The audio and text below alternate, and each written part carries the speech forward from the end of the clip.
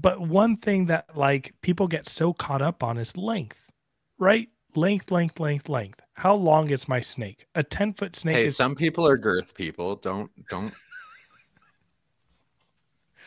What?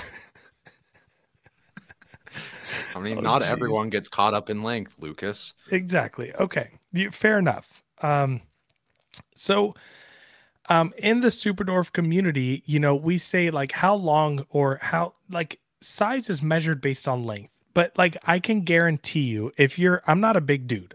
yeah, boy. I'm I'm five foot eleven.